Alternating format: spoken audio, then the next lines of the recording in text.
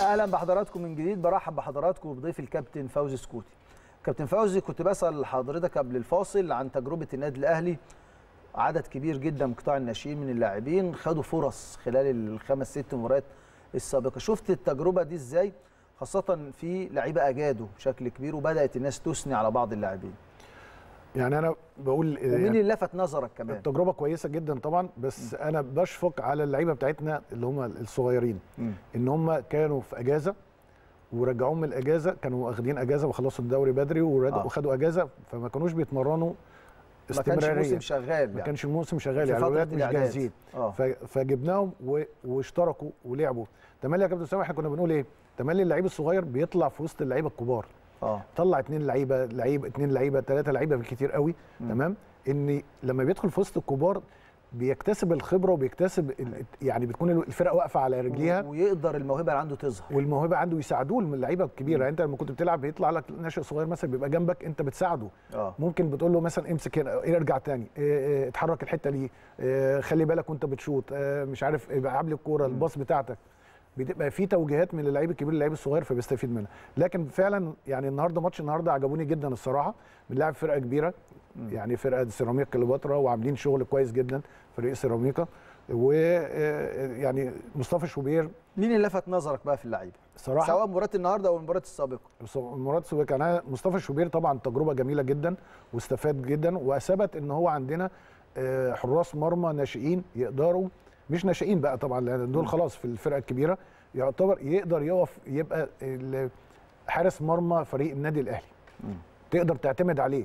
يعني معانا كابتن الشناوي ومعانا علي لطفي. علي لطفي ومعانا في شوبير شوبير. وخلي بالك إيه حمزة علاء. حمزة علاء النهارده اللي شارك في بعض الوقت. وفرحان جدا. آه يعني وفي هو- مصطفى مخلوف كمان مصطفى 2003 مخلوف. برضه هي. لازم كده يا كابتن أسامة. عندنا نجيب يعني نطلع من من ال... عندنا نطلع حراس مرمى ويختبروا وتشوف فعلا يصلح أو ما يصلحش ويبان مع الماتشات. لأن أنت عارف أنت طبعا لعيب كورة وعارف وجربت قبل كده. طول ما أنت رجلك في الملعب هتلاقي نفسك مستواك بيعلى. طيب. ويبقى في تنافس بين ال- ال- اللعيبة. مصطفى شوبير كان عندنا برضو يعني اللي عجبني كمان رأفت خليل النهارده. جاب هدف حلو النهارده ومن اللعيبة بص المميزه كابتن، أنا ببص عليها مش هدف كمان التحرك بتاعه استلامه للكورة. إزاي وسطه بيلف وحطها في الزاوية البعيدة. الحاجات دي بتبين لك إن اللعيب دي عنده بعد كده بقى المدرب بيشتغل تجيبوا معاه لنا الهدف بتاع رفعت خيل كده يا شباب يا ريت آه. عشان يعني كابتن فوزي سكوتي كان مهاجم كبير هو يحلل بقى آه آه وفي في برضو يعني محمد فخري برضو في نص الملعب. مع الشغل مع الخبرة أدي الهدف بتاع رفعت آه. خليل اتفضل يا كابتن بص أدي جريته استلامه للكورة آه. وحطها وحط وش رجله الشمال في الزاوية البعيدة مع باصص على الجون وشايف الزاوية البعيدة وحاططها. آه. فرحته بص كناشئ صغير آه. أحرز أول هدف ليه في الدوري الممتاز. آه. بص. طبعا اهو بص أدي اللعبة اتلعبت له. محمد محمود لعيب جامد جدا طبعا. وبص أدي اللفة وحطها بوش رجله على طول. سندها برجليه اليمين. بص السندة الاولانيه دي مهمة قوي كابتن. أيوه بيخرج نفسه بالكرة عشان أحمد سيد غريب في في الشوط الأولاني سندة قدام الجون تولت منه شوية. آه. فالسندة دي آه، تفرق جدا. استلامك أنت طبعا forward وعارف استلامك حطيتها تحت رجليك. بص. وادي اللفة وحط رجله وحطها في الزاوية البعيدة. ده لعيب تقدر تقول بدل عنده الأساسيات دي ده لعيب ممكن من يبقى اللعيب المميزة. محمد أشرف ال back الشمال بتاعنا برضو.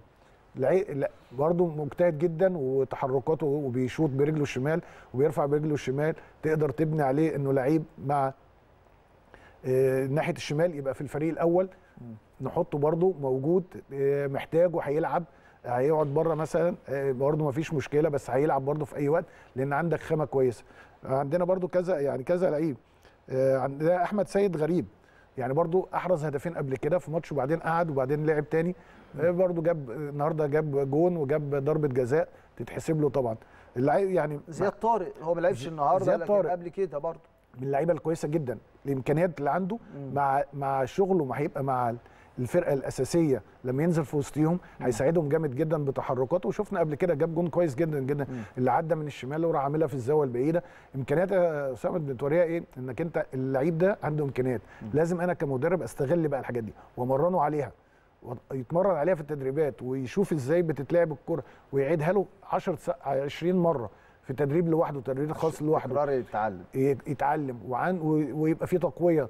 للقوة الج- الجسمانية عشان يبقى يقدر في الماتشات الأفريقية لما استعين بيه يبقى قوي يتحمل ال- ال- الخبطات والحاجات دي. فدي ده شغل بيحصل مع الولاد الصغيرين لما يبتدوا بقى يدخلوا مع الفرقة الكبيرة.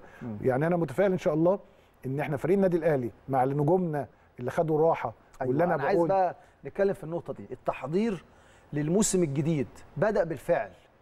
راحة اللاعبين الأساسيين اللي كان بقالهم ثلاث سنين مفيش راحة سواء مع النادي الأهلي والمشاركة في كم بطولات كبير جدا ومشاركة مع منتخب مصر. وهم كمان عناصر أساسية سواء في النادي الأهلي أو العدد الأكبر في منتخب مصر.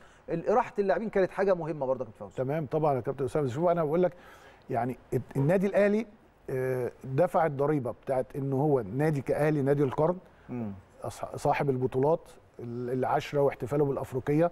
وبعد كده لما جه المنتخب فاكر لما المنتخب احتاج اللعيبة آه ضحى باللعيبة بتوعه الأساسيين وراح. كاس كأس العالم العالم. لل- للأندية ناقص يعني أنت اللاعبين. بتمثل أفريقيا وبتمثل مصر وبتمثل كل العرب وكله إنك بتلعب كأس عالم للأندية ضحيت باللعيبة الأساسية بتاعتك عشان خاطر المنتخب المفروض كان اتحاد الكورة يعني يراعي ال- النادي الأهلي عمله يريح ال ال ال مش مش عايز أقول لك إيه الماتشات النادي الأهلي ثلاث سنين اللعيبة دي ما ريحتش. من من من ماتشات لبطولات لأفريقيا لسفريات رايح جاي لسوبر وجاي وكأس عالم الأندية. اللعيبة يا كابتن أسامة أنت عارف طبعا بيجي في فترة بيزهق من الكورة. التشبع ذهني زي ما بيقولوا. لازم زي ما محمد صلاح ما عمل. أيوة. محمد صلاح عمل إيه؟ لما الموسم بتاعه عدد مباريات كتير في الموسم بيلعب أساسي. تمام. لازم ليه شهر بيفصل تماما. لازم. يبعد عن بيفصل. الكورة خالص. آه. يبعد عن الكورة خالص بيرجع له حالة الاشتياق تاني. لأن أنت عارف إحنا دلوقتي لو أي كورة بنشوفها بيبقى عايز نجري عليها. بس طول ما أنت لو في المجال على طول بت- بتجيلك نوع من الزهق زي أي حاجة. فلازم ياخد فترة آه، راحة بعيد عنها. فاللعيبة بتاعتنا الحمد لله لعيبة كلهم نجوم. من أول الشناوي لغاية محمد الشريف آه. يعني في جميع المراكز. عندنا لعيبة أحسن لعيبة في مصر. مم. اللعيبة دي هتاخد راحتها. هتبقى في حالة استشفاء هيتمرنوا كويس. مع الصفقات الجديدة اللي تدخل إن شاء الله عندنا الدوري وت- عندنا الدوري لسه في في في 10 إن شاء في الله. أكتوبر. آه. عندنا أفريقيا برضو لسه قدام شوية. فاللعيبة دي تكون رجعت خدت. وعملت فترة الإعداد فترة اللي أنت. مفتقدها بقالك ثلاث سنين من تلاحم المواسم اللي أنا عايز. أقوله لك بقى يا كابتن أسامة طول عمرنا أيام ما كنت أنا بلعب وأنت أيام ما كنت بتلعب لازم فترة الإعداد. لو فترة الإعداد دي لو ما اتعملتش للعيب هيقع. دي اللي بتوقفك. على رجليك طول الموسم. كنا بنروح نروح أي حتة في مرسى مطروح مش عارف إيه آه، بتروح معسكرات بره تجري على الرملة بتبقى دي الفترة اللي بتخلي فيك القوة توقفك. البدنية حقيقي. توقفك طول الموسم. مع الحفاظ بقى على إنك إيه بت- بتحافظ على التدريب بتحافظ على ساعات النوم بتاعتك مهمة جدا بتحافظ على نفسك زي ما بنشوف يعني محمد صلاح يعني آه. يعني فعلا شخص يعني هو لازم يديك هو مثل. هو هو ده الاحترافية. النوم بدري الصحيان بدري التدريب كويس الأكل كويس هتلاقيه زي الفل.